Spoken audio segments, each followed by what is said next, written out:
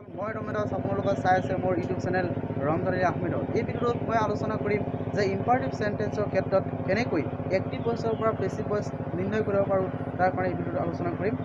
ভিডিঅ'টো আলোচনা কৰাৰ আগমতে আপোনালোকলৈ এটা ৰিকুৱেষ্ট যদি মোৰ চেনেলটো ছাবস্ক্ৰাইব কৰা নাই তেনেহ'লে ছাবস্ক্ৰাইব কৰিব ভাল লাগে লাইক কৰি শ্বেয়াৰ কৰিবলৈ পাহৰি নাযাব।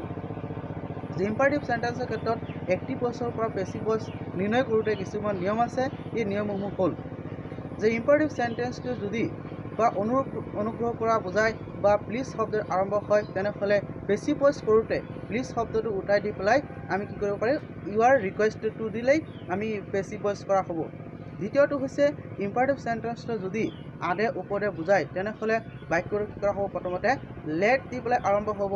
তাৰপিছত এক্টিভ ভইচৰ যিটো অবজেক্ট আছে অবজেক্টটো ব্যৱহাৰ কৰা হ'ব তাৰপিছত বি ব্যৱহাৰ কৰা হ'ব তাৰপিছত মূল ভাৰ্বৰ যিটো ফাৰ্ষ্ট পাৰ্টিচ মূল ভাৰ্বৰটো ফাৰ্ষ্ট পাৰ্টিচিপল ৰূপত ব্যৱহাৰ কৰা হ'ব।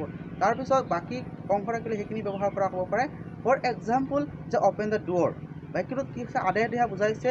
তেনেহ'লে যে বাক্যটো প্ৰথমে আৰম্ভ হ'ব লেট তাৰপিছত বাক্যটোত কি আছে? দি ডুৱৰ আছে। গতিকে দি ডুৱৰটো ব্যৱহাৰ তাৰপিছত বি ব্যৱহাৰ কৰা হ'ব। তাৰপিছত মূল ভাৰ্বৰ ফাৰ্ষ্ট পাৰ্টিচিপল ওপৰত ব্যৱহাৰ কৰিব তাৰপিছত অ'পেন অ'পেন ব্যৱহাৰ কৰিব দি আৰু এটা বাক্যটো হৈছে যে do the work at once বাক্যটো আৰম্ভ হৈছে ইম্পাৰেটিভ চেণ্টেন্স আধে আধেয়া বুজাইছে। গতিকে, আমি let the work be done at once thank you তেনেকৈ আপোনালোকে ইম্পাৰেটিভ চেণ্টেন্সৰ ক্ষেত্ৰত এক্টিভ বছৰৰ পৰা বেছি বছৰলৈ পৰিৱৰ্তন কৰিব পাৰিব।